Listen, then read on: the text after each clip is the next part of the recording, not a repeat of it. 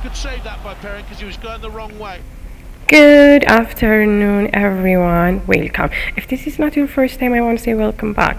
In today's video ስክሪኑ ላይ እንደምትመለከቱት በእግር ኳስ እንግሊዝኛ ለመማር እንሞክራለን። ስለዚህ የትላንቱን በፒኤስጂ ና በጁቬንቱስ መካከል የነበረውን የቻምፒየንስ ሊግ ጨዋታ እንግሊዝኛ ቋንቋ ተናጋሪ ጋዜጠኞች እንዴት አድርገው ዘገቡት? ሌትስ ስታርት And within five minutes, ፒኤስጂ ሊድ ዩቬ ይለናል ማለት ነው። within five minutes በሚለን ጊዜ በአምስት ደቂቃዎች ውስጥ እያለ ነው። ምክንያቱም አምስተኛው ደቂቃ ላይ ጎሉ ስለገባ ነው። ስለዚህ within five minutes ብለን ስናወራ እኛ ለምሳሌ በአምስት ደቂቃ ውስጥ ማለታችን ነው። so በዚህን ሰዓት within five minutes በአምስት ደቂቃ ውስጥ ምን ተፈጠረ? PSG lead Juve PSG ዩቬን መራ እያለን ነው። አሁን አንድ ለባዶ ስለሆነ PSG አንድ ነው፣ ዩቬ ደግሞ በዚህ ደቂቃ ላይ ዜሮ ስለሆነ ማለት ነው። ስለዚህ ዩቬ ያው you're probably የ football fan የእግር ኳስ ደጋፊ ነው የምትሆኑት። ለማንኛውም ዩቬ የጁቬንቱስ ባጭሩ ሲጻፍ ነው። ስለዚህ በዚህ ጊዜ within five minutes PSG lead Juve ከዛ በኋላ ሁለተኛው መስመር ላይ ካለው ስንጀምር brilliant understanding between Mbappe and Neymar ይለናል ማለት ነው። if there is an understanding between two people በእነኛ ሁለት ሰዎች መካከል መግባባት አለ ተብሎ ይገለጻል ማለት ነው። ስለዚህ በዚህን ጊዜ brilliant understanding በሚለን ሰዓት ላይ በኔማር እና በባፔ መካከል ወይም ደግሞ ምናልባት ኳስ የማታዩ ከሆነ ባፔ የተጫዋቹ ስም ሲሆን ኔማርም የተጫዋቹ ስም ነው። ስለዚህ በእነዚህ በሁለቱ ተጫዋቾች መካከል በደንብ ጥሩ መግባባት እንዳለ brilliant understanding between Mbappe and Neymar ብሎ ገልጾታል።. ስለዚህ በሁለቱ ተጫዋቾች መካከል ያለው መግባባት it's brilliant።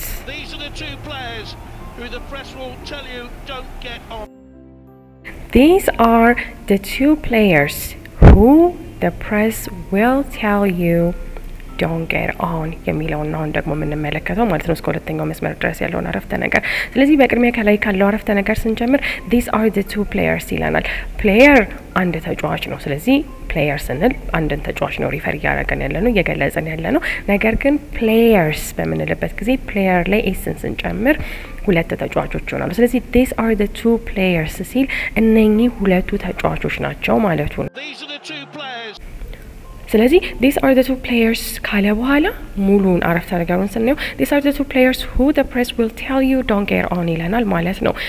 the press በሚልበት ጊዜ በዚህን ሰዓት ላይ ሚዲያውን ነው እየጠቀሰ ያለው። ስለዚህ these are the two players who the press will tell you don't get on በሚለን ሰዓት ስለዚህ የዚህ ፍሬዝ ትርጉሙ ምንድን ነው?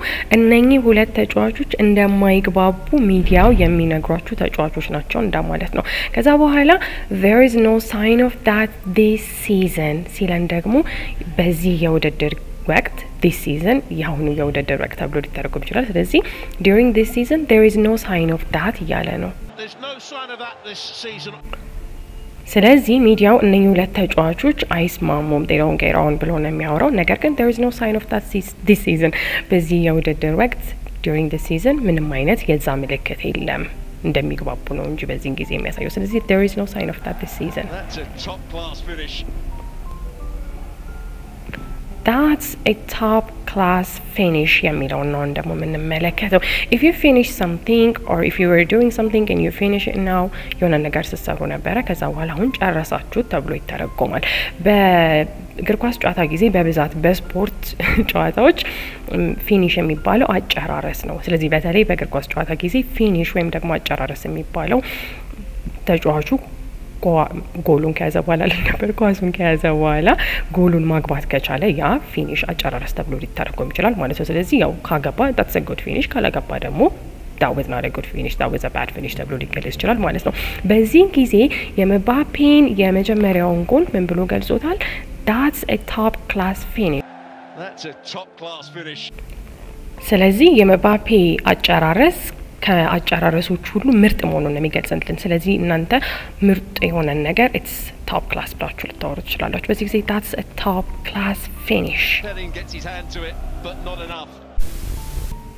አሁን ደግሞ የምንመለከተው ያው still እያወራን ያለ ነው የባፔ የመጀመሪያው ጎል ላይ ነው። ስለዚህ የመጀመሪያው ጎል ሲገባ የዩቬ በረኛ በእጁ ነክቶት ነበረ። ነገር ግን ኳሱን መመለስ አልቻለም፣ ወይም እንዳይገባ ማድረግ አልቻለም ማለት ነው።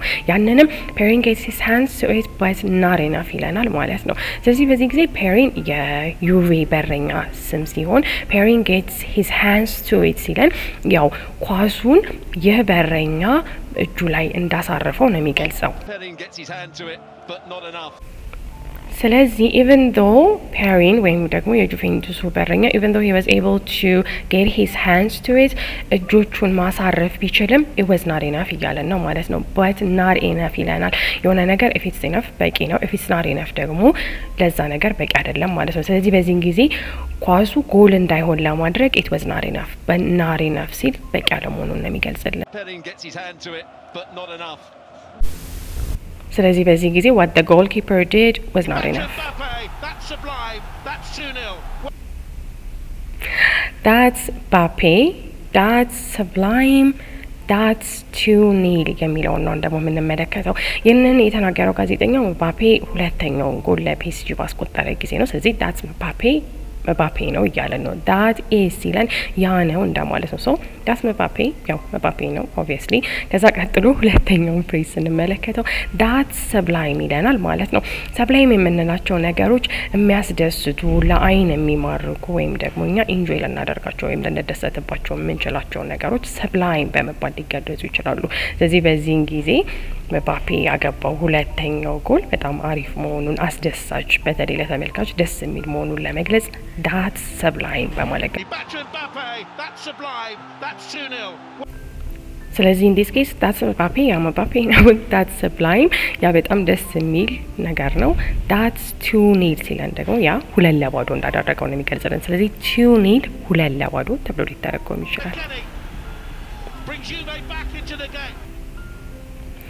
አሁን ደግሞ የምንመለከተው የጁቬንቱስ ተጫዋቹ ተቀይሮ ልክ እንደገባ ያ- ለጁቬንቱስ ጎሉን ሲያስቆጥር McKennie brings Juve back into the game በማለት የገለጸውን ይሆናል ማለት ነው። መኬኒ የተጫዋቹ ስም ነው። I'm not even sure if I'm pronouncing his name correctly እንለፈው ና McKennie brings Juve back into the game በሚለን ጊዜ መኬኒ ወይም ደግሞ የጎሉን ያስቆጠረው ተጫዋች ጁቬንቱስን ወደ ጨዋታው እንደመለሰው ነው የሚገልጽልን ማለት ነው። ስለዚህ if you bring something የሆነን ነገር አመጣችሁ ተብሎ ሊተረጎም ይችላል። እዚህ በዚህን ጊዜ ያው ጁቬ አንድ I mean ሁለት ለባዶ ሲመራ አልነበረም። አሁን ደግሞ እሱ ለዩቬ የመጀመሪያውን ጎል ሲያገባ he brings his club back into the game ማለት ነው።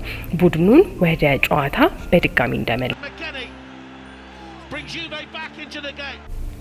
ስለዚህ በዚህን ጊዜ McKennie ወይም ደግሞ substitute player brings Juve back into the game ዩቬንቱስን ወደ ጨዋታው መለሳቸው።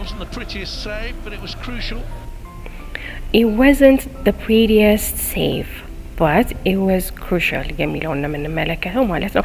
የሆነን ነገር it's pretty ብላችሁ የምትገልጹ ከሆነ ሲያምር እንደማለት ነው፣ ወይም ያምራል ተብሎ ሊተረጎም ይችላል። ቀጥታ ስንተረጉመው በዚህን ጊዜ እንዳያችሁት ተርመጥምጠው ነው ኳሱን የመለሱት።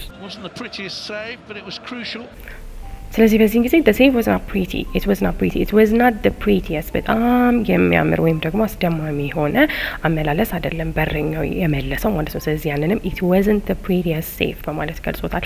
ከዛ ግን ዋናው ነገር but ነገር ግን it was crucial ይለናል ማለት ነው። ስለዚህ እናንተ የሆነን ነገር it's crucial ብላችሁ በምትገልጹበት ጊዜ ያ ነገር በጣም ጠቃሚ ነው ወይም ደግሞ በጣም አስፈላጊ ነው እያላችሁ ነው። ስለዚህ በዚህን ሰዓት ላይ ኳሱን የመለሱበት የተርመጠመጡበት ነገር ላያምር ይችላል። because wasn't prettiest save የሚያምር አስደማሚ በሆነ ሁኔታ አይደለም የመለሰበት ነገር ግን it was crucial በጣም ጠቃሚና አስፈላጊ ነበር። ምክንያቱም ዋናው ጎሉ አለመግባቱ አይደለም። I hope you guys enjoy today's video። የዛሬውን ቪዲዮ እንደወደዳችሁ ተስፋ አደርጋለሁ እና